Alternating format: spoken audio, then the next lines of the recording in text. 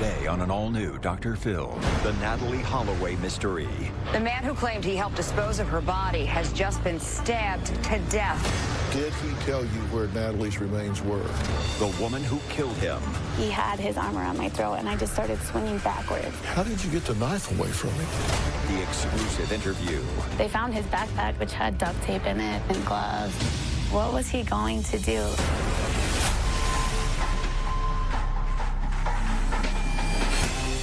Beautiful blonde teenager Natalee Holloway vanished in 2005 while on a high school graduation trip, and ever since, her loved ones and the nation have been haunted by her mysterious disappearance. There are so many unanswered questions. Where is Natalee? Is she out there somewhere still alive? If she died, how? Now, after 10 years of dead end theories and false leads, her name is back in the news after John Ludwig, friend of Joran van der Sloot, a longtime prime suspect in Natalee's death, was killed in Florida. Now, Ludwig met Joran in Aruba and claims to have helped dig Natalee's grave and cover up her remains. And he was stabbed to death as he reportedly attempted to kidnap 23 year old Emily Hiestand. Take a look. A bizarre twist in the murder of Natalee Holloway, the college student who disappeared in Aruba back in 2005. The man who claimed he helped dispose of her body has just been stabbed to death. Police say a Northport woman stabbed and killed a man who tried to kidnap her. His name is John Ludwig, and police say he had this place staked out as he waited for that woman to come by, but she instead turned the tables on him and took his life. But neighbors say they're most shocked to learn about his connection to the Natalee Holloway case.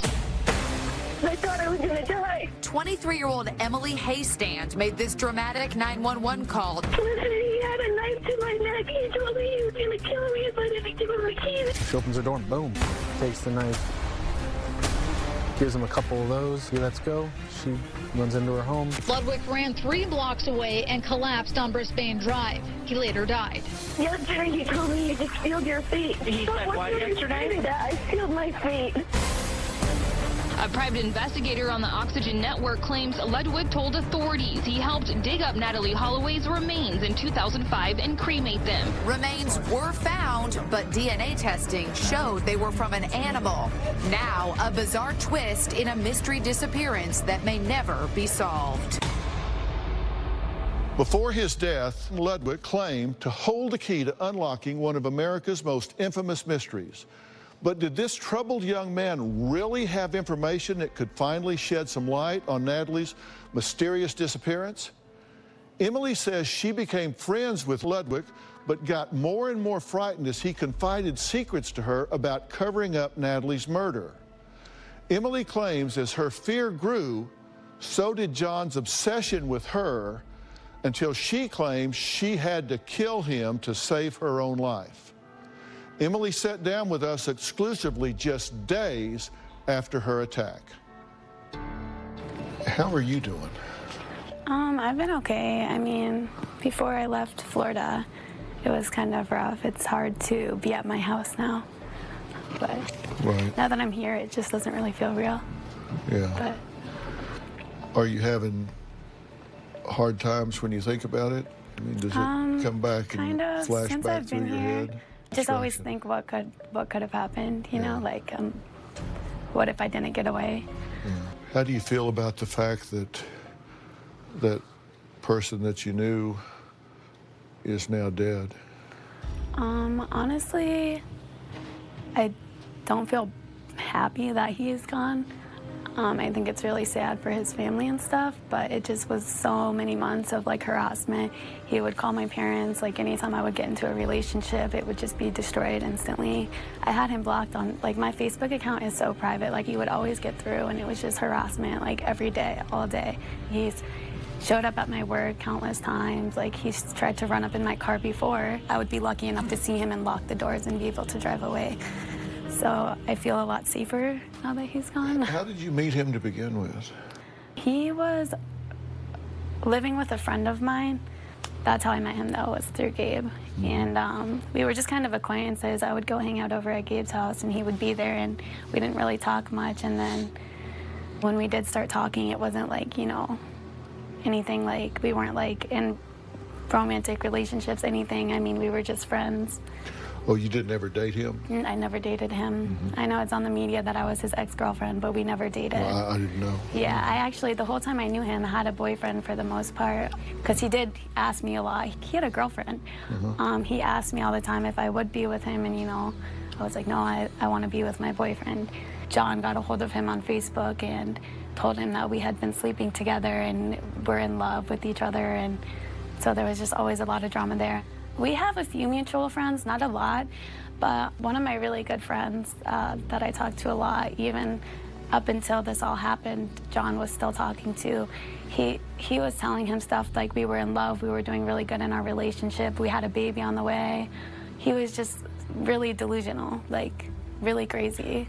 And ever since then, I, I stopped talking to him after that, and this was like eight months ago, and it just never ended. Were you ever with him alone before? Like you go over there and your friend wasn't home or Gabe wasn't home and he was there? Yeah, I've been. Did he act strange? Did, did he would always just try and like try to like ask me like try to pay me to like do stuff with him i don't know just stuff like pretty much try to beg me to do anything with him You said he would try to pay you? yeah like he would offer to pay me to like give him a kiss or you know anything just like anything like he was like devoted to like making me be with him honestly and it just got creepy mm-hmm. at first i Was didn't he serious? he was serious, yeah.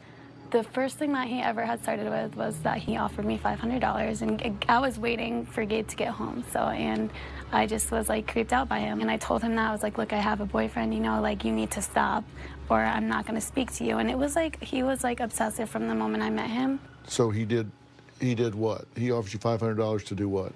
To perform a sex act? Yeah.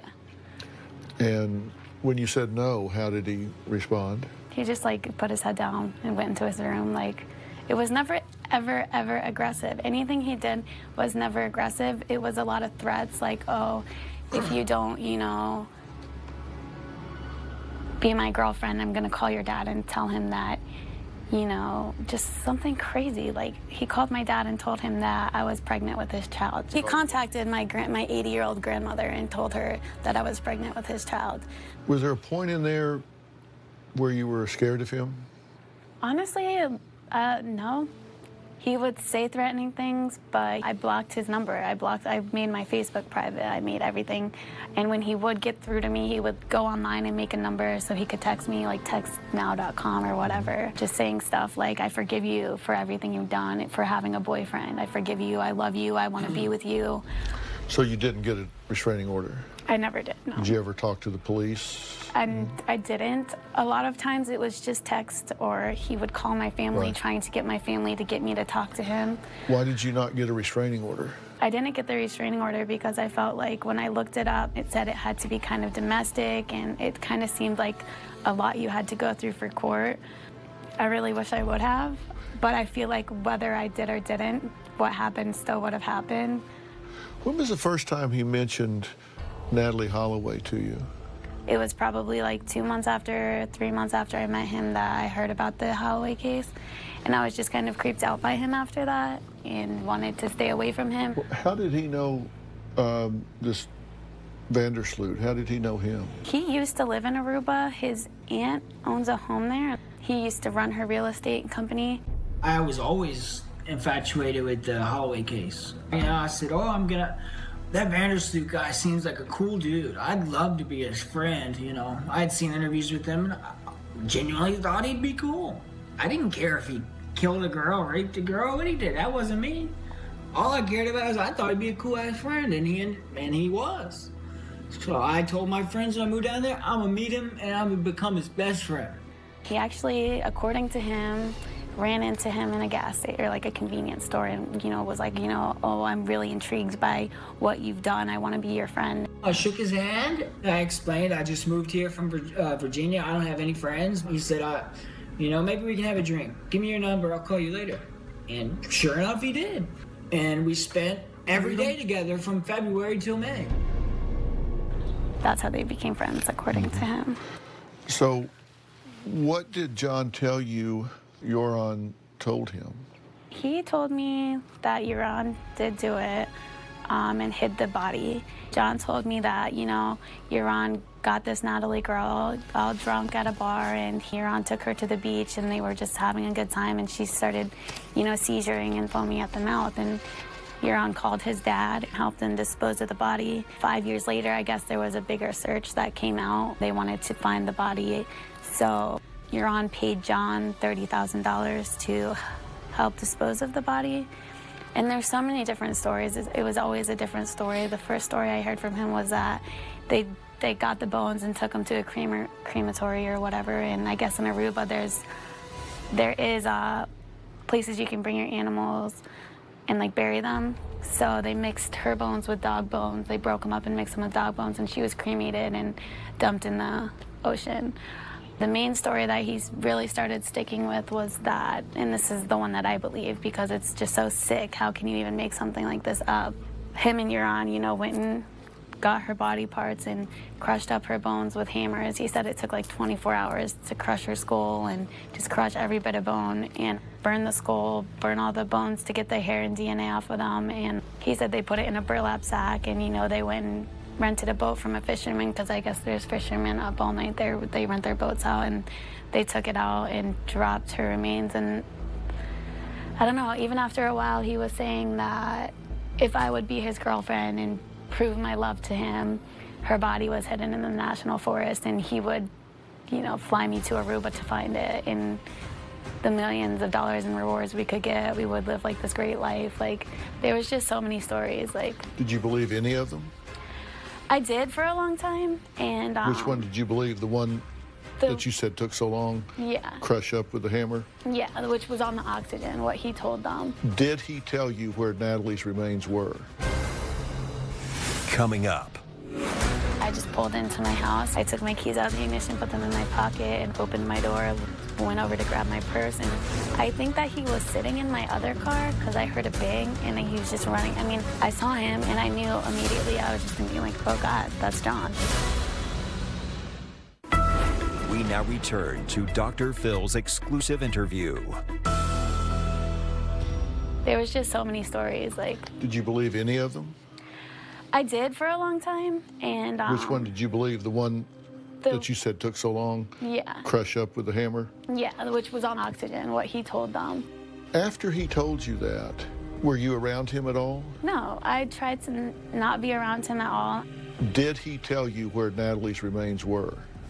He never told me like this is exactly it. He told me that if we were ever to be in Aruba and went in the national forest, he would be able to find them. But he also did tell me Joran taught him to never be honest, never tell the truth, always, always lie. So I feel like everything that ever came out of his mouth is a lie. I don't know if he honestly was a part of it. Maybe Joran told him what he did, and that's where the six stories come from. I honestly don't know. He literally was delusional. Do you believe he helped Joran or not? I did at first. He had so many stories, you know, all the stuff about crushing her skull and he just said and did sick things. He thought it was funny that Joran date raped girls, and he just thought sick stuff like that was funny. I just don't know. I did. And then when he said, you know, always lie, always lie, I wasn't a part of it, always lie, like, because his name started getting out there and he just didn't want the publicity. So I just don't know. I just don't know. Well, this is a transcript of TJ Ward, a private investigator, talking to John. Where did you take her remains? John, to my property, TJ Ward, to your aunt's house? John, originally we had discussed betting it cremated, but at the time it was legal, but apparently some places would do it for pets. TJ Ward, and what did you do? John, the idea was to crush everything to the point where it wasn't recognizable as her bones or skull or anything like that. TJ Ward, did you do something to the remains before you broke them up, or did you do something with the remains after you broke them up? Did you burn them? John, the only thing that got burned was the skull to burn the hair fibers. It was doused in gasoline in a fire pit in a cave. Had he told you that? Yeah, he said that where they did it was in a cave. I didn't know it was if it was on his aunt's property. Yeah. But he's always said it was in a cave. Was it funny to him or was it just to impress you? I guess it depends what kind of mood or what kind of drugs he was on that day. J- John used drugs heavily. I think that he thought it was all funny, the date raping of the girls. But I just felt like it was all so fake and such a lie. Did he break into your car at one point? Yes. And did what? Um, well, there's times he he was definitely stalking me. I mean, how did he know I got home at 6:30 every morning? How Uh-huh. did he know that day that I did? There was a time he broke into my car and stole documents I had from the hospital, and just anything he could, any evidence that I, Emily gave this to me and we're together. He would. I mean, that's the only thing that he was ever able to get out of my car that was like a big deal. But um, Otherwise, there was one time that I was driving and he got in and he tried to grab my phone from me. And it was when I had just met my boyfriend and I posted a picture of us on Facebook and he wanted my phone and he said he deserves to know who he is and he's going to kill him and he needed his name. And it was in a public parking lot, thank God. And instead of just sitting in the car and trying to fight with him, I ran inside. And that's why I really was telling him, like, John, I'm going to get the police involved. Okay. He contacted me on my way to work. I told my manager, like, after this, I'm going to get a police report. And I, I bartend. I work late. I didn't get off till like 2:33 in the morning, so I just didn't think about it after work. Um, and it was the next morning that happened. So you were just about to get the police involved. It was Mm-hmm. It was up. like it was that night, but I just got off so late. So where were you when you were attacked? Let's let's, let's take me through the process. Um, I work late. I bartend. Um, I have a six-year-old little girl, so every morning I get up. Um, I go to my boyfriend's and sleep there. I live with my mom, so my mom has her overnight. Um, get up, go home every day, 6:30 in the morning, every single day for like the last two months now. Um, I pulled into my driveway. I was sitting in my driveway. He had to have been stalking me. Like, You think he when I followed you from that boyfriend's house? I think he was he was waiting at my house. He was ahead of waiting you. at my house. Yeah, I just pulled into my house. You know, I took my keys out of the ignition, put them in my pocket, and I was texting my boyfriend. You know, like have a good day at work. I love you. So I kind of had my phone in my hand, went to grab everything, and saw him running up. I think that he was sitting in my other car because I heard a bang, and he was just running. I mean, my driveway's like okay, part of it goes straight, and then part of it curves off, like it's a roundabout. So I was not far from him at all. I think he jumped out of my car and ran at me. I saw him and I knew immediately. I was just thinking like, oh God, like that's John. I went to close the door and closed him in it. So the other car was on your left. Yeah, I didn't see him. I don't know if he ran from the side of the house and you know ran into my trash can, but I just heard a bang, looked over, and it was just he was right there. Coming up. I just started swinging back. It was just literally like I was swinging back like this because he got me down like this. He had his arm around my throat and I just started swinging backwards. And when I knew that he wasn't letting go, I put all my strength into it and I was like, I'm getting away from this. How did you get the knife away from me? Dr. Phil's exclusive interview continues.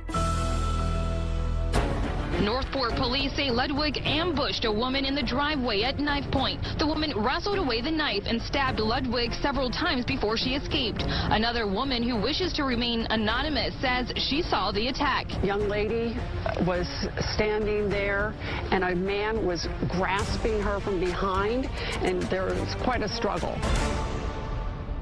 It was six in the morning. It was dark, but I didn't see him. I don't know if he ran from the side of the house and, you know, ran into my trash can, but I just heard a bang, looked over, and it was just, he was right there. I closed him into my door and he got on top of me. I was screaming. He started shoving something in my mouth and was kind of on top of me, so I couldn't talk and I couldn't move. And he just kept saying, you know, do what the I tell you or I'm gonna slit your throat. Um, he had a knife to my throat. He's shoving something in my mouth and I can't talk and I don't know if he pulled it out and I just put my hands up. I was like, John, I'm listening to you. What do you want me to do? I'll do whatever you want. He was able to just kind of shove me into the passenger seat. He got in and he has a knife to my throat with his left hand and he goes to start the car and realizes the keys aren't in the ignition. And you can tell he's like, you know, what do I do? And he's like, you know, give me the keys or I'm gonna slit your throat. It's like, okay, like I'm doing whatever you want me to do. I reached into my pocket and I just grabbed the knife by the blade. So like my fingers here got cut a little. So this part must have been on the black part, but I'm like this and I hurried up and grabbed my door and kicked it open. And was able to, you know, start to step out and he had me by the throat and I just kept going like I pulled myself out of that car like I think I pulled him. So I'm standing up at this point and he's got his arm around me and he was able to get himself out of the car and I, you know, kind of swung the knife back slowly like warning him like let go of me. And I did that a couple times and I'm thinking he's not letting go like it's either me or him right now like I'm not coming out of this. It's me or him. So I just kept swinging back like as hard as I could. And I didn't even know that I struck him. I had no idea. As soon as I felt myself being released, I ran. Like I ran. I didn't even look back. I did not even look back. I Oh. thought that he was still out there. So you were able to get to the door. yeah. Thank God. Yeah. But you're getting out of the car and you're standing up and he's still got a hold of you. Yeah. And show me how you were swinging the knife back. I mean, I got out of the car. I don't even know if I was all the way out, but when I grabbed the knife, the blade's facing this way. So when I had my hand around this way, I just started swinging back. It was just literally like I was just swinging back like this because he's got me like down like this. Like he had his arm around my throat, and I just started swinging backwards. And when I knew that he wasn't letting go, I just put all my strength into it, and I was like, I'm getting away from this. How did you get the knife away from him? I grabbed it by the blade. I didn't even think it just happened so fast. I don't even know how I thought. I didn't even. I don't even know. Did you twist it or? It- he he had to be on drugs. It, it was too easy. It just happened too easy for me. So I don't even know why I did that. It wasn't like, oh, I'm gonna grab this knife from him. It just was like it just happened. Like I just grabbed it. Well, I'm sure he didn't expect it for one thing. No, not at all. Like it was just And, so uh, fast. Did it cut your hand? Um, not too bad. This part I think got, you know, the it was like a kitchen knife. So this must have been on the black part and this my, the blade must have got like right here, a little bit right here nicked. But Were you bleeding? yeah, mm, when the cops took pictures of my hands, it was just covered. And my face, the, my mouth was like bruised all the way up here. Like, From what he stuffed in it? yeah. Do I you know yet what it was? I don't. Um, the bottom part didn't get cut up at all. I think it was some kind of glove, you know, where the top is rough. Because when the cops found him, he he had gloves on, and they found his backpack up the road, which had duct tape in it and gloves and some more knives. He had more knives, duct tapes, and gloves in his backpack. Well, the day before, what I started saying when he got a hold of me on a girl Lauren's account, he kept saying, you know, he was pretending to be her, but I could tell it was him because the way he he would type paragraphs and paragraphs and paragraphs. He was messaging me, oh, like you know, he messed John up so bad. He loves you so much. If you don't take him back, he's not going down alone. And I was like, you know, all I had to say to that was, please leave me alone. I'm not talking to you about John. And then further on, I realized it was him, and I said, listen, John, if you don't leave me alone, I'm getting the police involved. And um, the last thing he said to me was, you just signed your will to live. And the next day, he came to my house. Coming up. What was he going to do? Where was he going to take me in my own car? What was his plan? It's scary. Like, I feel like he was going to, like, torture me. What did you think when you heard that there was a backpack with duct tape, knives, and gloves? We now return to Dr. Phil's exclusive interview. He must have been hiding behind my other car because I heard somebody run over and I knew it was him and I started screaming right away and I couldn't close the door quick enough. And he got it, he had like a face mask. He could only see his eyes. Like there was like a handkerchief maybe over Okay, and you're sure it was He had a him, correct? coat on. I heard him talk. He was telling me he was going to kill me if I didn't give him the keys because he got me in the car and he had a knife to my neck the whole time. I said, listen, John, if you don't leave me alone, I'm getting the police involved. And um, the last thing he said to me was, you just signed your will to live. And the next day he came to my house and I think he wanted to, I don't know if he was just gonna like go kill himself and try and kill me on top of it. I don't know. And when when he released you, you didn't even know at that point that you had stabbed him. I had no idea. I didn't know. I didn't. I didn't even know why. I thought he was still out there. I just ran. I didn't even look back. I didn't see him fall down. I didn't see. And you ran into the house. yeah, like this and your is my mother car. and child were in there. Yeah, my mom had heard me screaming. She met me at the door. Like she was opening the door when I was running in, and I just slammed the doors and locked every door in the house. And I was like, "Mom, he's out there. Call the cops." And it was just terrible. I feel like my daughter is probably traumatized. Where is he now? I don't know. He's probably in my yard. He probably ran away. I got the knife from him and I stabbed him. Um, actually, there was somebody in black standing right where, you know, he would have fell because there's like, you know, my driveway and we were on the other side of the car and then there's like, you know, some trees. Um, so I was like, oh my God, he's out there. I'm freaking out because, you know, they don't let you hang up on the phone with them. And then the cops put their flashlights on. It was actually a police. They had already found him by then. Like, here's my house. Um, it's the first house on the street. So you take your left and there's the main road. They found him on the way to my house right in the main road. He didn't make it very far at all. So he had run away. Yeah, he did. He tried to get away. And how far did he make it? Mm, not even like a quarter of a mile. Just made it to the road. Yeah. And collapsed in the middle of the road. I just keep thinking what would have happened if not. They didn't tell me that he had passed. I mean, I kept telling the cop, you're going to take him to jail and he's going to get out and do the same thing. I really thought like he was going to get out and I would be dead like in any time now. And where was the stab wound? I believe it says online his abdomen. I have no idea if that's the truth or not. Because, Was there more than one? Um, I'm not sure. I'm there. I'm sure that there was because I s- just kept swinging until I was let go of, but I don't know.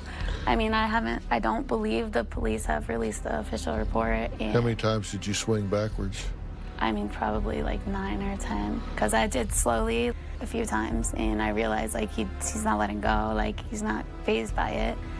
So probably like five or six more times, just as hard as I could.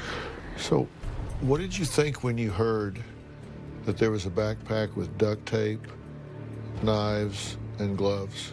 I mean, that was really scary to me. What was he going to do? Where was he going to take me in my own car? Like, what was his plan? It's scary. I feel like he was going to torture me, and I don't know. Part of me is like, I've never seen him be crazy like that. So I'm like, was he just going to try and scare me into being with him, or would he have really killed Lee? I have no idea, honestly. What do you think made him snap? Because he had been all talk for a while, but then he had rushed your car a few times. He broke into your car. He violated your space. He I- comes at you with a knife at your throat.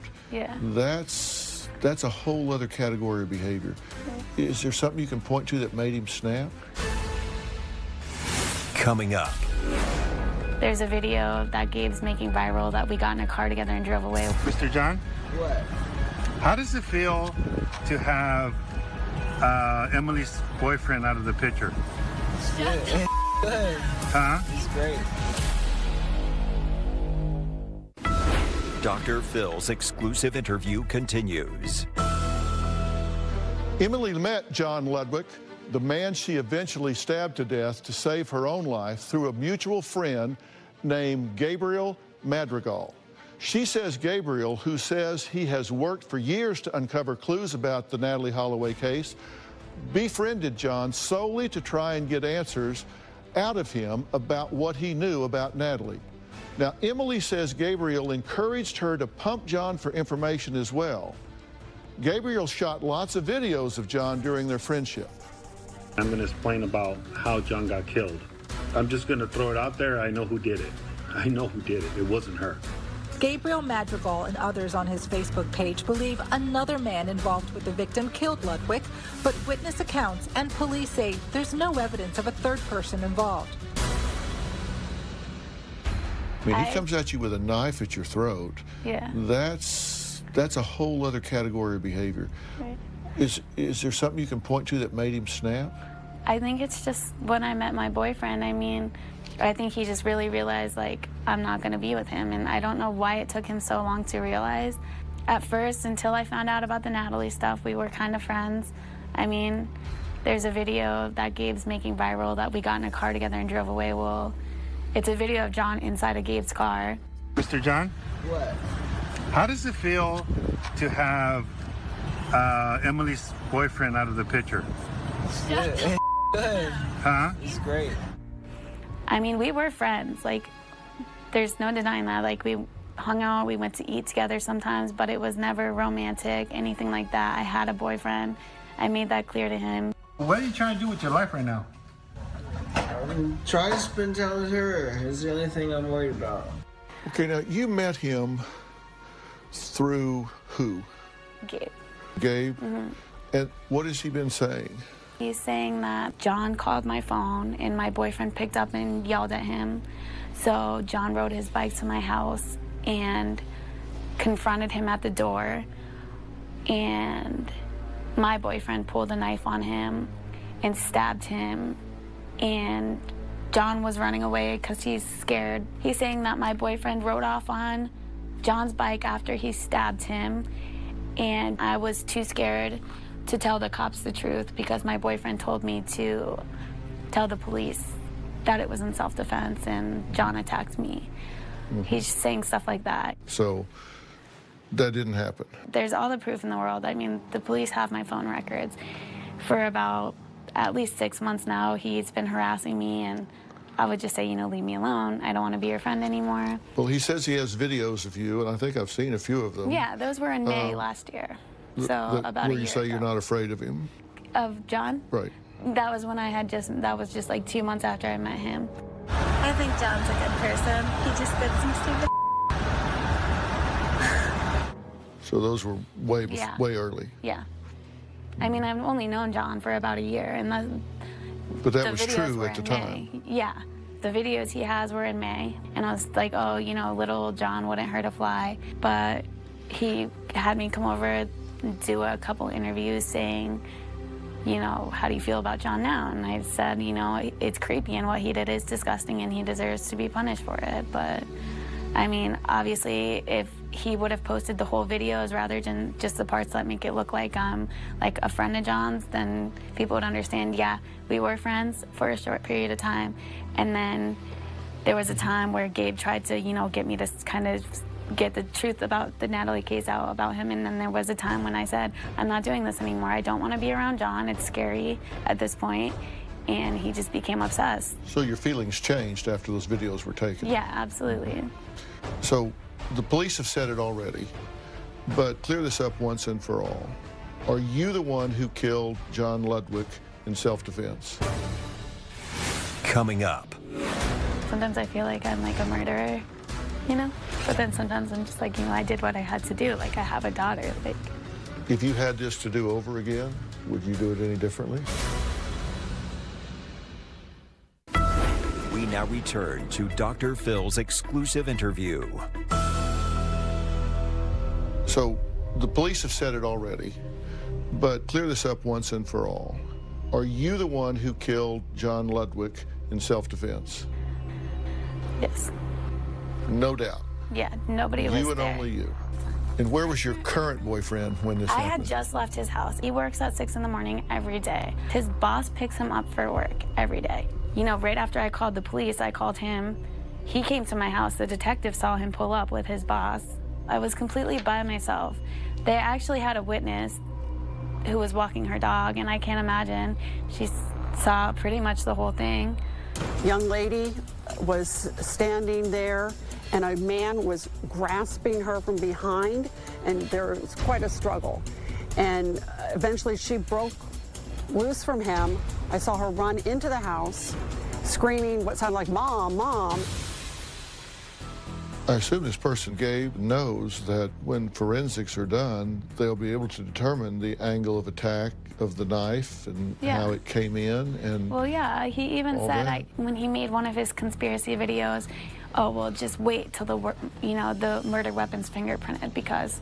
Emily's DNA is not going to be on there. And it's like, the, there's only going to be mine and John's. And, you know, I had my daughter in the house and I just dropped the knife. I was just so shook up my mom picked it up, you know, and set it on the counter. But other than that, the knife was in nobody's hands. I don't even know how I made it out alive because I am not a morning person.